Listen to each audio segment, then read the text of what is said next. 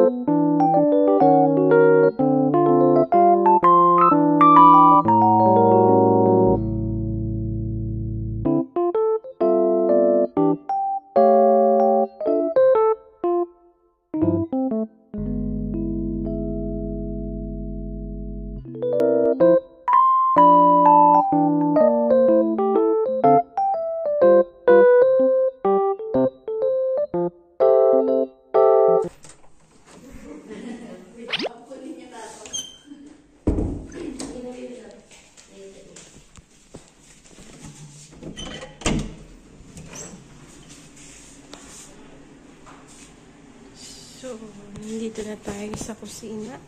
Nagluto si Ma'am Jane ng hotdog and indomie noodles. With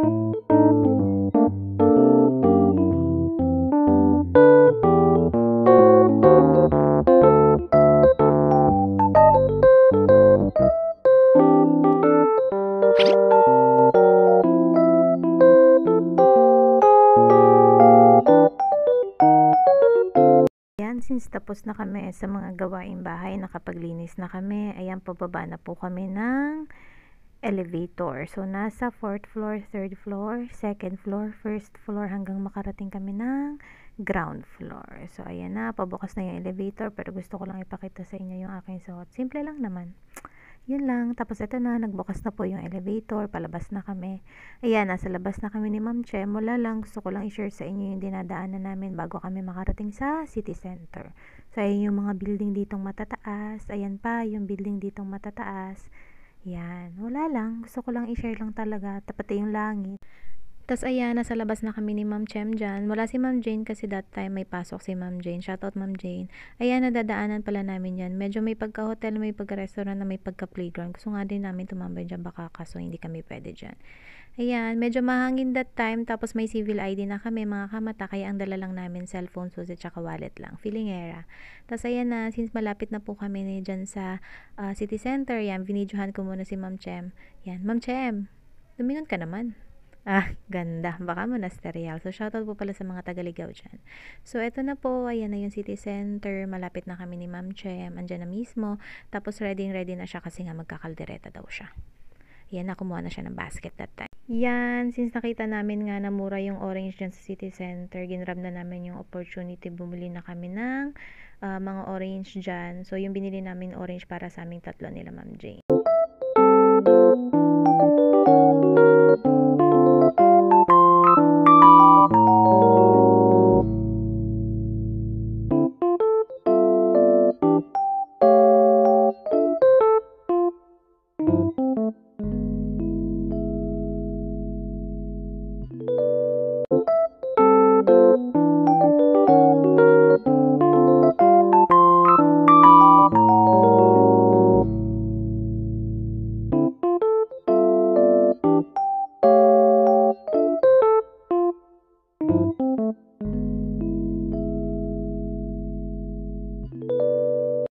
So, ayan lang po yung nabili namin. Ayan na po si Ma'am Chem. Tapos, ayan na din po ako. Pauwi na po kami.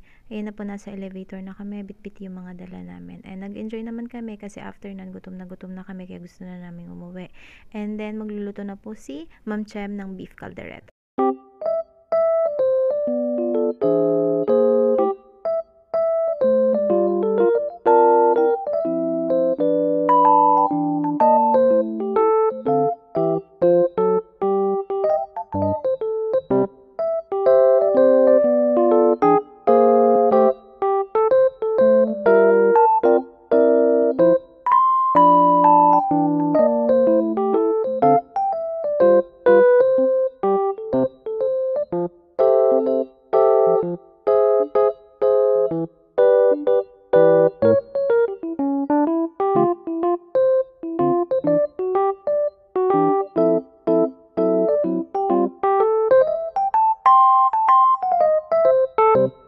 Ayan na po, ginagayat na po ni Ma'am Chem yung mga ingredients na kakailanganin niya sa beef caldereta. Meron po tayong sibuyas, bawang, carrots, patatas at meron din tayong peanut butter at yung mamasitas nga na binili natin kanina sa city center at ayun nga binabad na niya kanina bago kami umalis yung kanyang beef na gagamitin po sa beef caldereta.